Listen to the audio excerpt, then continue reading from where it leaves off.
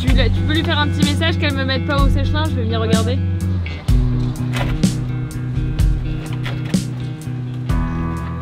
Aracımızın yanında her 6000 kilometrede bir değiştirmemiz gerekiyor. Şu anda da İzlanda'dayız. 6000 kilometre doldu. Hatta biraz geçtik bile. Şu anda biz kendimiz değiştiriyoruz. Fakat burada bidon bulamadık. Hani bidon dahi bulsak yağı nereye boşaltacağımızı bilmiyoruz. O yüzden buradaki bir garaja geldik. Garajdakiler sağ olsun bize mavi bidon verdiler.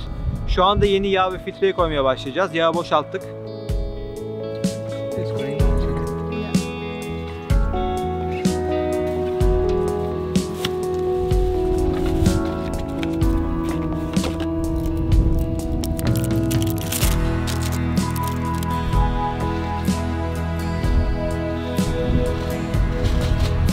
Yeni koyduğumuz temiz yağın rengi bu şekilde. Bu da kirli olan. Arkadaşlar videonun şimdi göstereceğim kısmını gösterip göstermeme konusunda kararsız kaldım.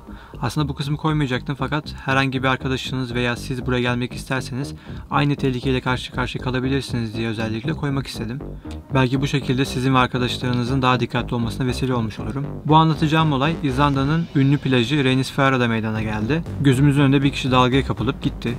Buradaki Sneaker Wave, Türkçe uyuyan dalga olarak çevrilen bu dalga türü burayı dünyanın en tehlikeli plajlarından birisi yapıyor. İlk olarak bu dalga türünden biraz bahsedeceğim. Sonrasında kendi çektiğim ve internetten bulduğum birkaç videoyu size göstererek olayı daha iyi anlatmaya çalışacağım. Göreceğiniz görüntülerin sizi rahatsız edeceğini düşünüyorsanız bu kısmı atlayabilirsiniz.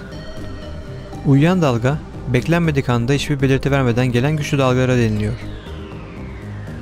Normalde sahile gittiğinizde dalgaların nereye kadar geldiğini ıslak kumu görerek anlarsınız. Fakat uyuyan dalga türünde bunu kestiremiyorsunuz ve kendinizi bir anda suyun içerisinde bulabiliyorsunuz. Sahile vardığımız andan itibaren belirli aralıklarla gelen bu dalgalardan dolayı ıslanan kişileri görmeye başladık.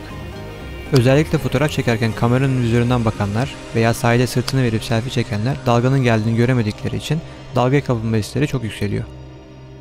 Burada gördüğünüz gibi dalgalar normalde dağ içerisinde belirttiğim noktaya kadar geliyor. Fakat uyuyan dalga okla gösterdiğim yere kadar ilerleyebiliyor ve bunu sahile gittiğinizde fark edemiyorsunuz. Aynı şekilde buradaki örnekte gördüğünüz gibi dalgalar normalde daire içerisindeki noktaya kadar gelmiş ve herkes o çizginin önünde bekliyor ve sonrasında bakın neler oluyor. Oh my god! Oh my god!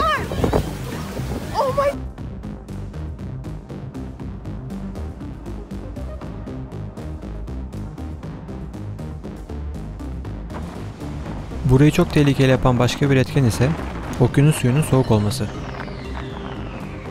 Bu durum sudaki kişinin hayatta kalma süresini çok etkiliyor.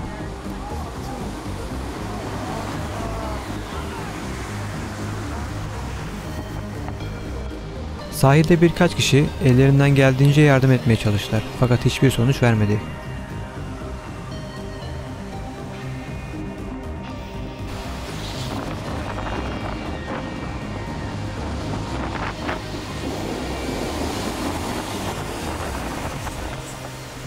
Aynı dakikalarda başka bir kişi daha az kalsın dalgaya kapılıyordu.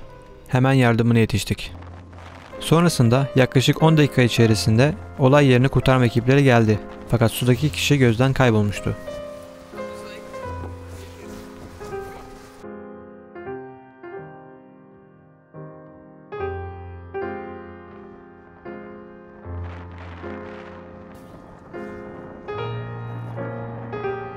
Helikopter ise buranın başkenti Reykjavik'ten geldiğinden dolayı gelmesi bayağı uzun sürdü.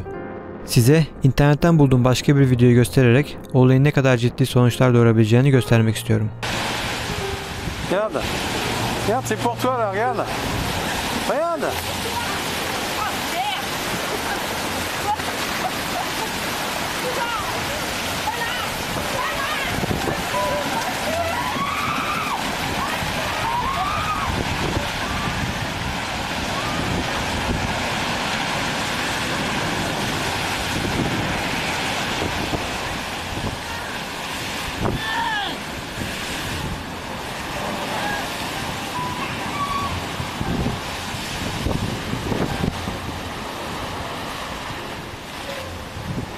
Eğer yakınınızda bir helikopter yoksa sizin kurtulma şansınız çok düşüyor. Aynı şekilde buradaki plajda da gelen helikopter buranın başkenti Reykjavik'ten gelmişti. Fransa'da da mesela plajda birisini hatırlıyorum ben e, akıntıya kapılıp çok uzak bir yere gitmişti. Oradaki iki kişiyi helikopterle kurtarmışlardı. Bu tamamen helikopterin hangi sürede gelebileceğini ya da sizi kurtarmaya gelecek can kurtaranın ne kadar aktif olabilmesine bağlı. Mesela buradaki plajda herhangi bir can kurtaran yoktu. Sadece simit koymuşlardı. O bele geçirilen simitlerden. Onu da zaten atmaya çalışan kişi boğulan kişi yetiştiremedi onu. Dalgalar zaten onu geriye getirmiş oldu. O yüzden birçok okyanus kıyısında kendiniz sorumluluk almak zorundasınız. Aynı şekilde buradaki yapacağınız herhangi bir aktivite de aslında da öyle. Yani mesela burada buzula gittik. Buzulda herhangi bir görevli yoktu. Sadece orada bir pano vardı. Panoda yazan şey işte buzun üzerinde yürümeyiniz eğer hani profesyonel ekipmanlarınız yoksa. Ama ben mesela buzun etrafında spor ayakkabıyla yürüyen kişileri gördüm. Yürüdüğü buzun üzerinde siyah bir toz tabakası vardı ama yine de bir insanın spor ayakkabıyla buzun üzerinde yürümesi tehlikeli ve bunu panoda özellikle belirtmişler. Ama bunu yapan insan çok var. Mesela buradaki hayatını kaybeden insanların haberlerine baktığınızda işte buzun altında kalanları görebilirsiniz. Aracıyla buzula çıkmaya çalışanlar mesela var. Hayatını kaybetmişler. Aynı şekilde bu plajın gelişinde de aslında uyarı tabelası vardı. Fakat suyun oraya gelmeyeceklerini tahmin ettikleri için büyük ihtimal oraya kadar gittiler. Sonrasında dalga onu alıp götürdü. Plajda bir sürü kişi aslında ıslandı dalga onları da çekmeye çalıştı.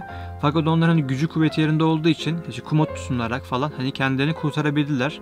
Yaşı büyük olan kişiler ve hani hareket kabiliyeti çok yavaş olan kişiler için bu dalga türleri özellikle çok tehlikeli. Çünkü o dalgaya karşı direnemiyorlar. Tabii ki sadece güçlü kuvvetli olmak da yeterli değil.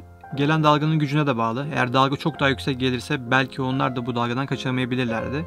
Özellikle İzlanda gibi ülkelerde hani doğa felaketlerinin yüksek olduğu yerlerde özellikle daha fazla dikkat almanızı tavsiye ediyorum. Bu videoyu hazırlamamdaki en büyük amaç sadece buradaki plajdan değil de dünyanın herhangi bir yerinde karşınıza çıkabilecek herhangi bir tehlikeden de bahsetmekte. O yüzden umarım sizin de bir sonraki gezi ve aktivitenizde daha dikkatli olmanıza vesile olmuş olurum.